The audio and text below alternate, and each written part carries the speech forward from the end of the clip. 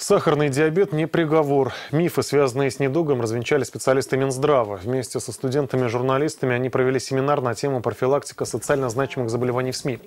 За последние шесть лет количество больных в регионе увеличилось более чем на 30 тысяч человек. По словам эндокринологов, при правильном лечении в большинстве случаев пациенты имеют все шансы для того, чтобы жить полноценной жизнью, избегая серьезных осложнений.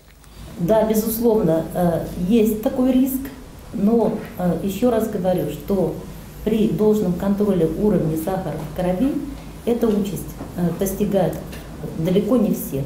И число пострадавших, то есть перенесших или дошедших до этой стадии, в общем-то, достаточно мало.